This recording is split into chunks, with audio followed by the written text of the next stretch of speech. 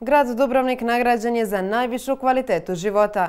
Izbor je to portala gradonačelnik HR, Hanze Medije i agencije Ipsos, a dodjela je održana u Šibeniku. Proglašenju je prisustvovao i dubrovački gradonačelnik Mato Franković, koji je u svom govoru istaknuo kako pristigla nagrada potvrđuje slogan gradske uprave Dubrovnik, grad po mjeri svojih građana.